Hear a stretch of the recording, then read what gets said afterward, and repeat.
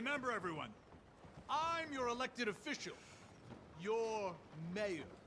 And you elected me on a ticket of probity as well as democracy. this is a fair town, and a nice town, and a proper town, and as such, it's a town for fair and nice and proper people. This is Strawberry, West Elizabeth, and I'm your mayor. Fine morning, partner. And you're my, our citizens. And you'll be fair and proper and like-minded, or we will not tolerate you in our town.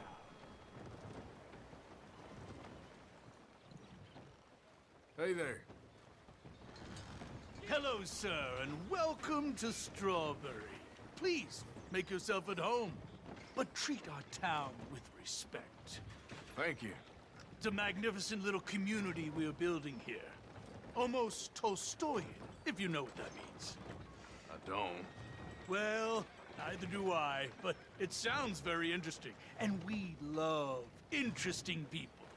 Please, make yourself at home, but be nice.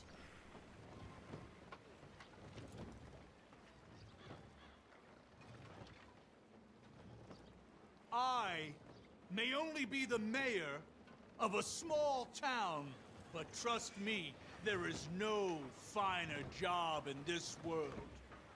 I am doing God's work. I am shaping lives and raising the level of civilization in our region.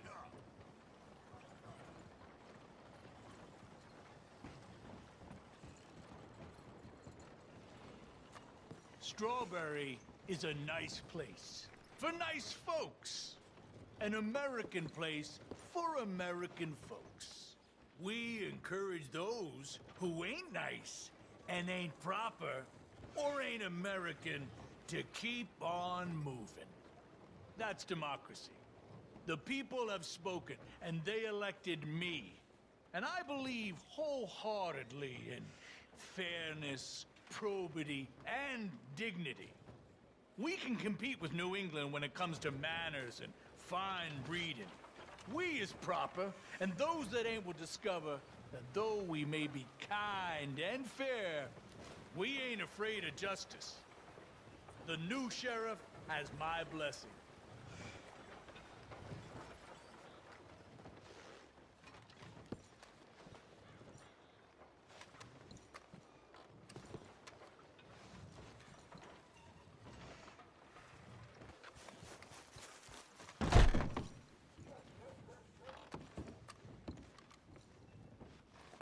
What the hell's your oh, problem? Okay there? Don't think this day can get much worse. Well, no one said life was gonna be easy.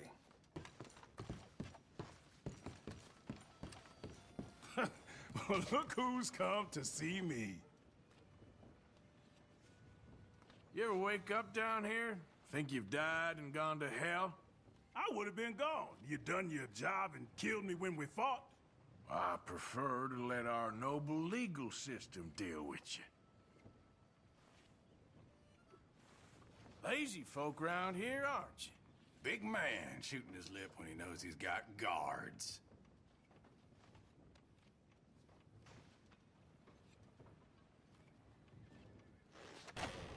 Ah, hello. I don't think I gave a receipt last time, did I? Let me do that right now.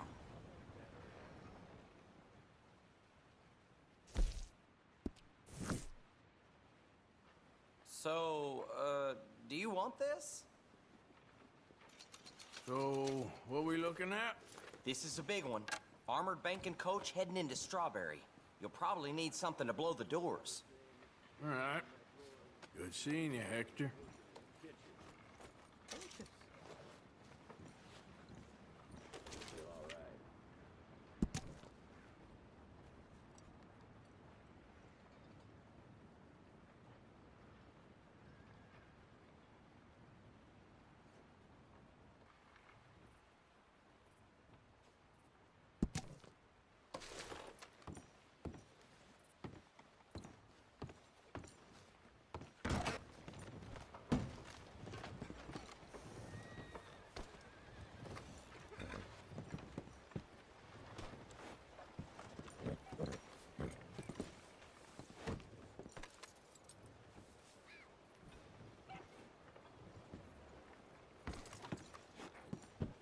You need something else then? Oh, it's you. Didn't recognize you for a minute there. Hey, you. Thanks, mister. What's your damn problem?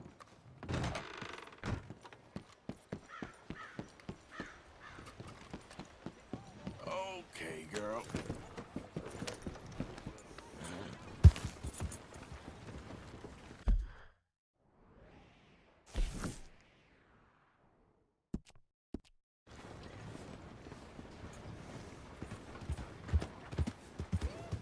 Hey there!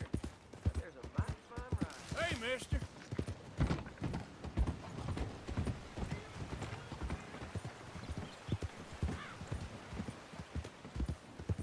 You got someplace that I can take you?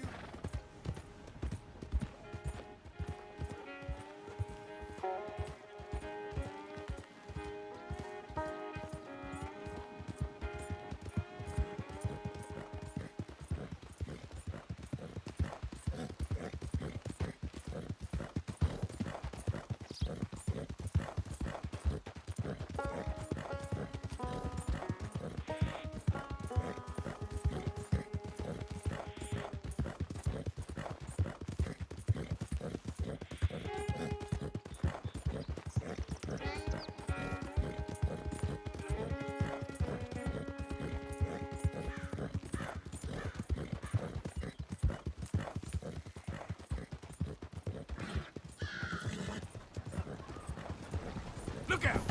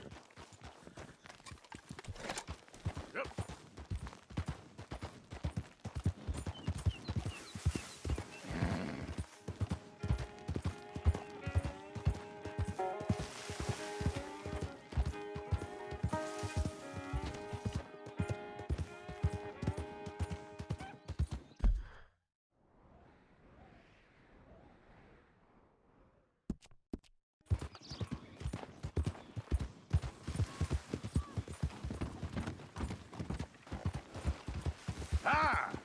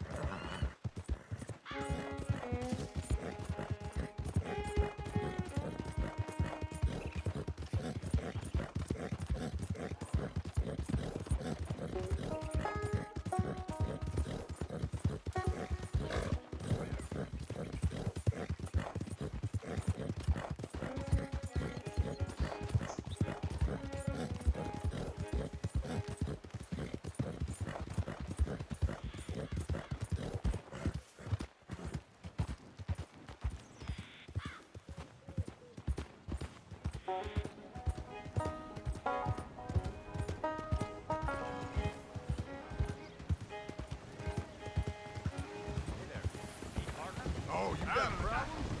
Hey, hey! Just calm down. What's with you then? Hey there, kitty. Hey there, mister. Hey there.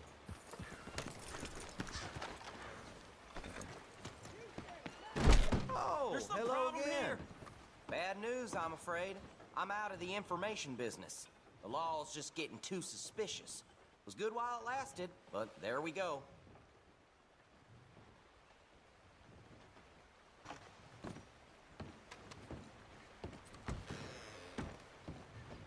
Thank you for your help.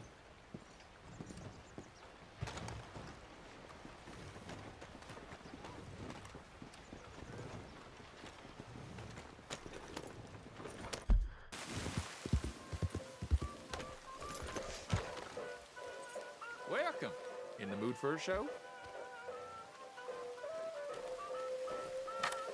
Ticket for one, please. We'll be starting soon, just inside the tent there.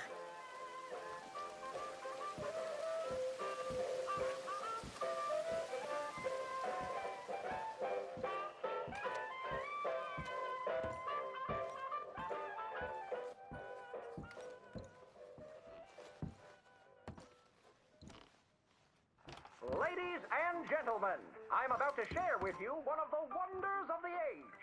In fact, one of the wonders of any age. Aerial navigation, or as we call it, man flight. Soaring through the heavens in flying machines, so that even gravity itself can be mastered. An amazing and bewildering spectacle. But I assure you, everything I am about to share with you is true. Now, we are all familiar with the potential cruelties and injustices of travel by horse, wagon, or locomotive. You are like to be beset upon by the infinite savagery of wicked men or bloodthirsty beasts that lurk in the bogs and plains of these tormented lands. But what if I told you, for a certainty, that man will soon be traveling across the heavens with wings like a bird? I am sure you think I am full of untruth. But I have not drank a pint of liquor in over a year, and I will do my utmost to demonstrate the veracity of my claims.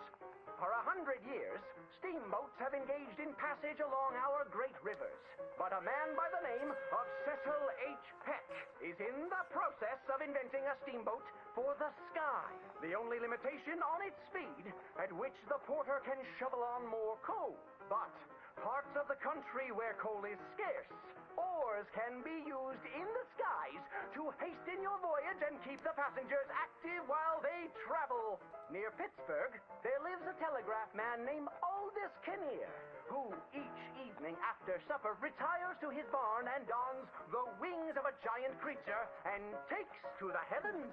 You will be delighted to know he has traveled considerable distances, as many as 45 miraculous feet. Unfortunately, on his record breaking flight, he knocked over a lamp and was consumed by flames.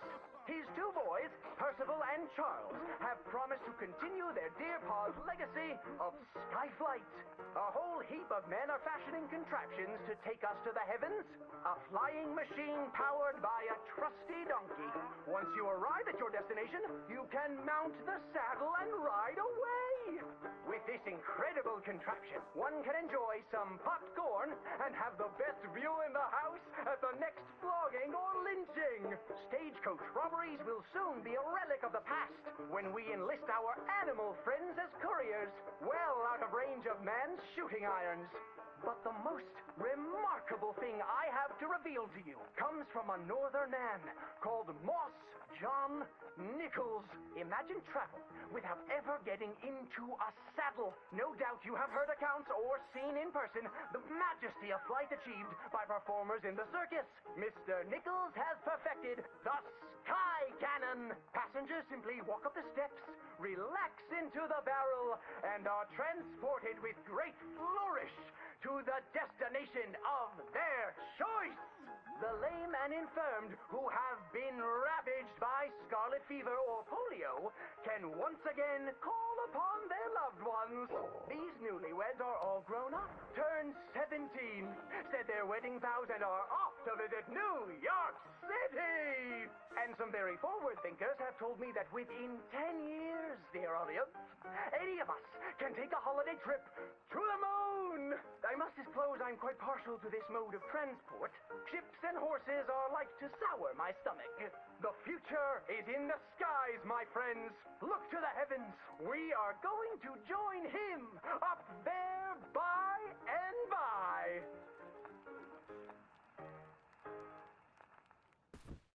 Hmm.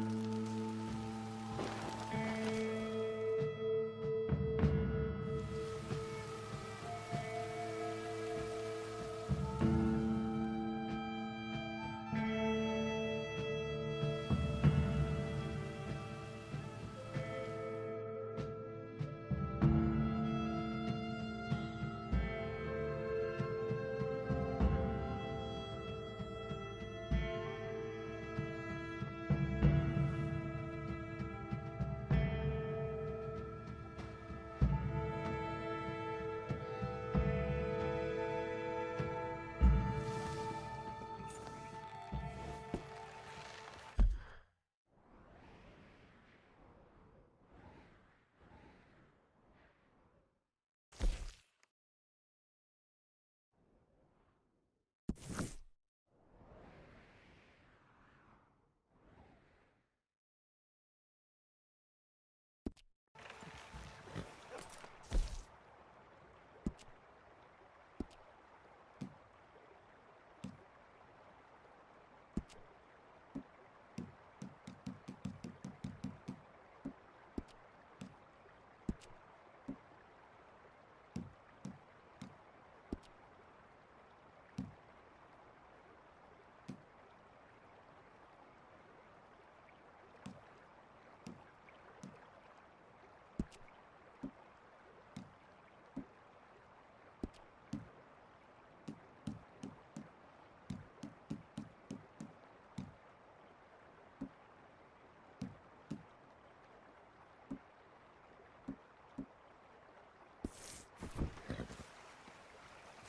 Whoa,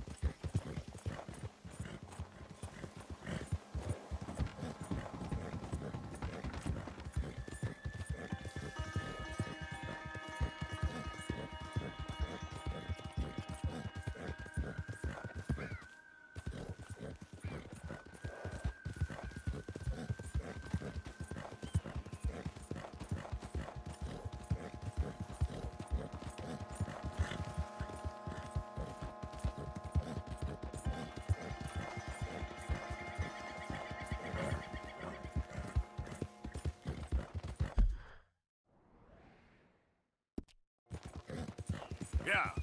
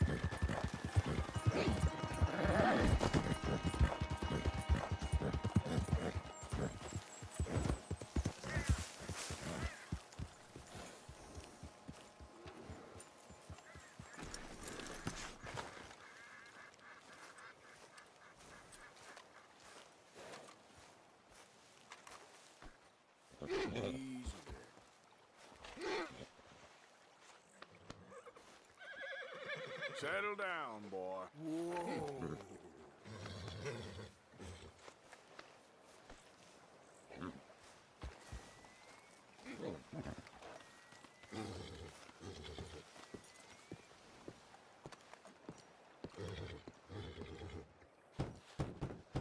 The door's open.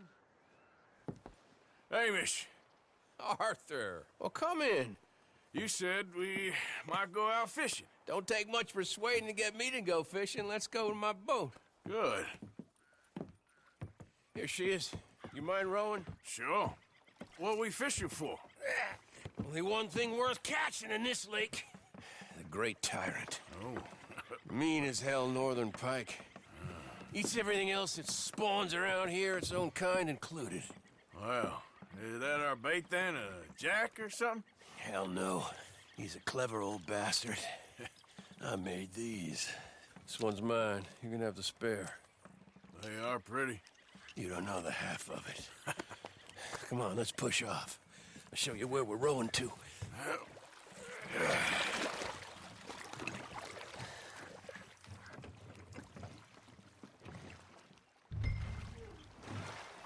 Take us over there to the right. We'll set up 10 yards or so offshore.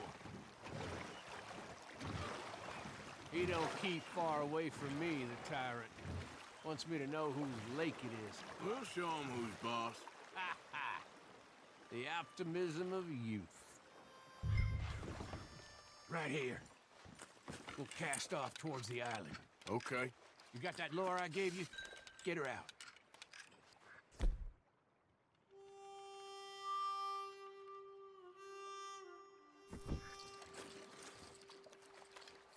Spent years working on that. Finding the right combination of feathers, twine, and glimmer. Making them, losing them, getting them right. I tried coins, shell casings, even a medal. Finally found something he seems to like. Now I hear you can buy him in a shop. Well, it wouldn't be quite so satisfying. Getting them with something shop bought. Easy for you to say. but maybe I'm inclined to agree.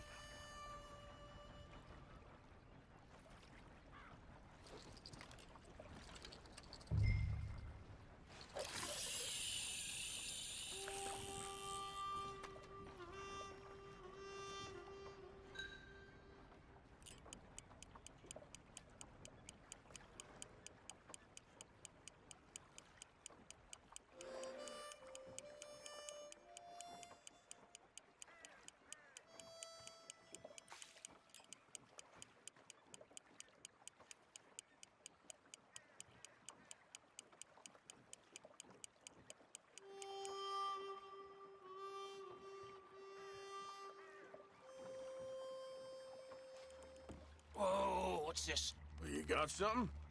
Ah, I got something all right. Uh, hey, him. Hey, you need Come on now, tyrant, I got you. I got you. Come on.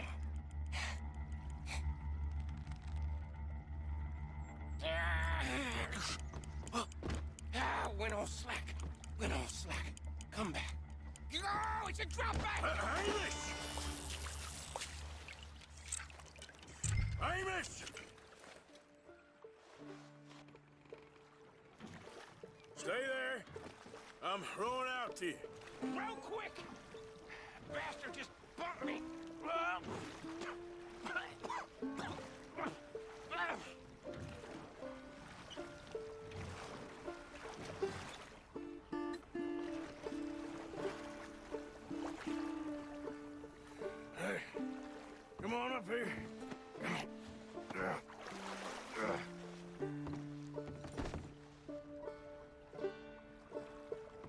You lost anything? Uh, just my rod. Would've gotten my toes, too. They weren't wooden. You want another go at him? I still got my lure. Nah. He's your fish now. Cast away. We'll come at him from the other way. Row over there. When he bumped me, I had to check twice. Thought I'd find a chunk of me missing.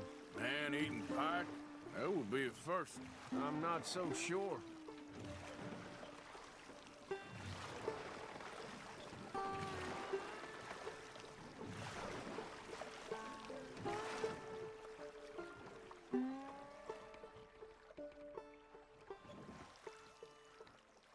Okay, right here.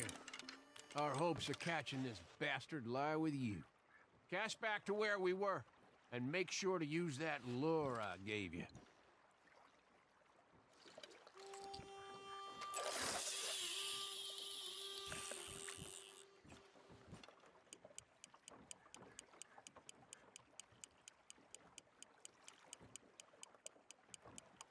Come on! I think I hooked him. Reel. Let's land the bastard.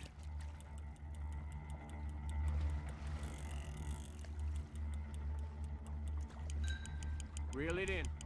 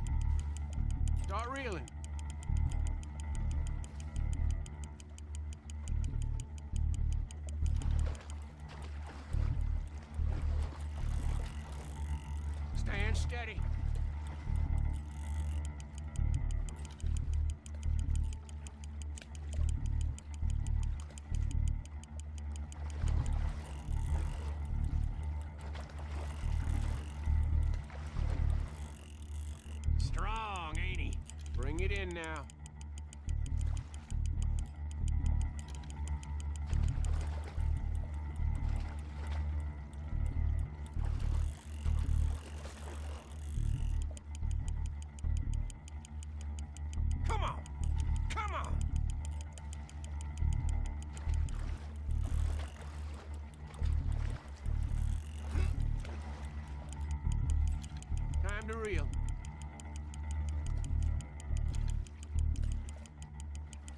He's tiring, all right.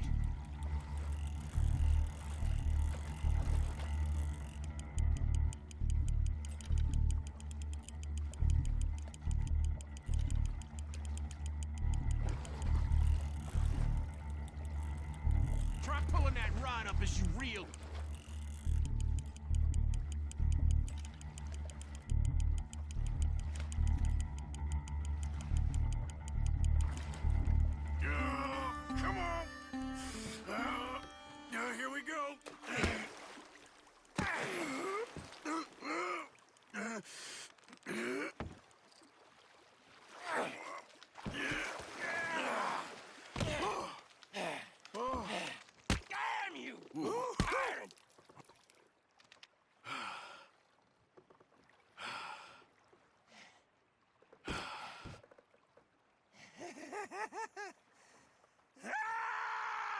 Oh, I'm sorry. What are you sorry for? You caught him.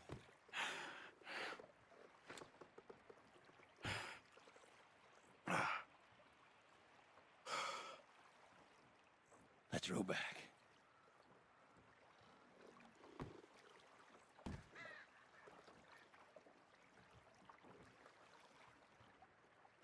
Here, here. Uh, the holder. Pass me the tyrant. That is if you're sure you don't want him. Oh, I ain't gonna poach from your pond. I'll ah, give him his honors then. He sure was something, huh? He was. Thanks for taking me out. I appreciate the company. That's one hell of a fish. Ain't he something? So long. Hey, you ever want to go out hunting? You stop by again. On me.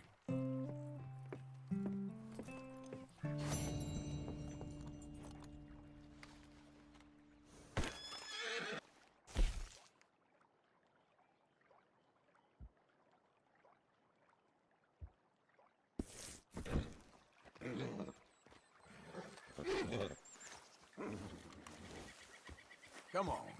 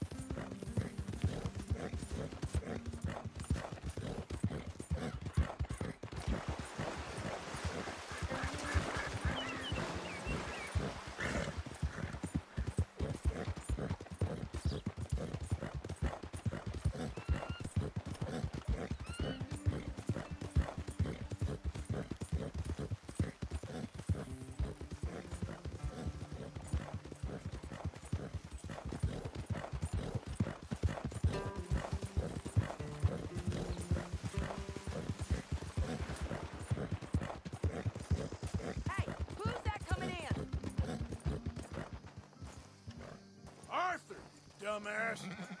Good. You're alive.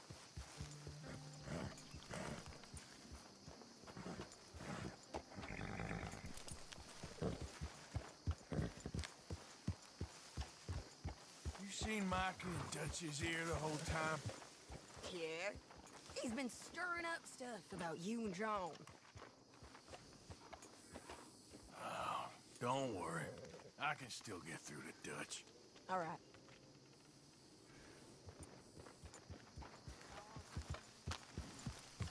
It's a hard time right now, but I'll live. Yeah, well, that, that's good, I suppose. Hey, Mary Beth. Hey, Arthur. How you holding up? What's the plan here? Is Dutch gonna be all right? We'll work something out, I promise. Okay, Arthur. Hi, Uncle. Mr. Morgan. How are you doing? Everything's falling apart. What are we gonna do, Arthur?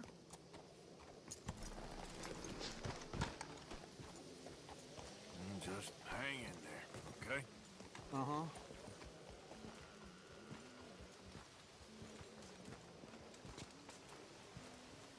Hi there, Jack.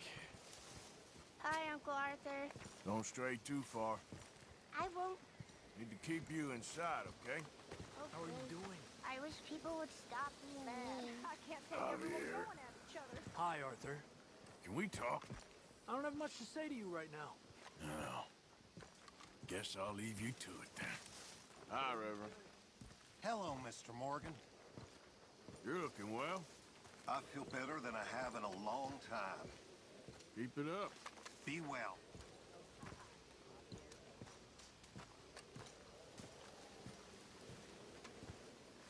Okay, Abigail? Hello, Arthur. How you doing? Confused? Worried? What's happened to all you boys? Just keep your head down for now. I suppose so. John? Hell of a time, Arthur. How did it come to this? I don't have a short answer to that. Well, we had a lot of good years. Be strong.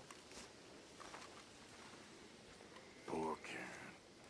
You don't look so good. Why don't you lay off the bottle for a bit?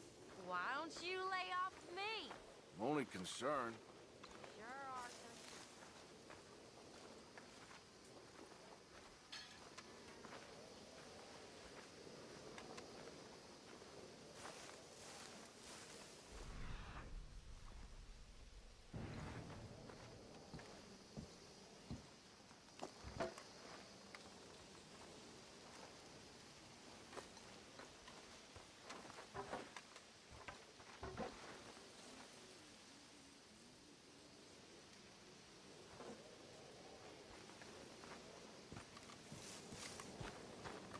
Hi, Susan.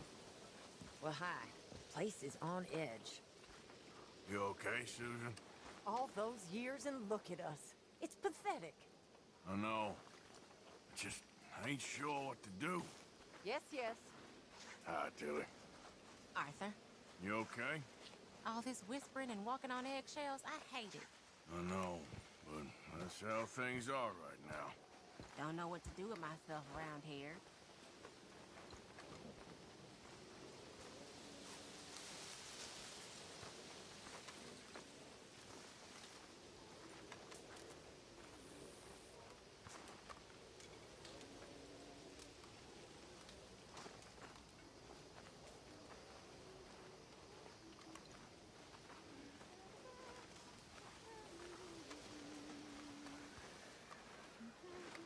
Oh, look who it is! Hello, Karen. Look who it is! Oh, Arthur. Big, tough Arthur. You wanna know something, Arthur? What? I don't know. I don't know. I had something to say. I did. Take it easy, Karen. On the hooch. Because a good, sober life will bring me peace and contentment? What a crock of shit this world is.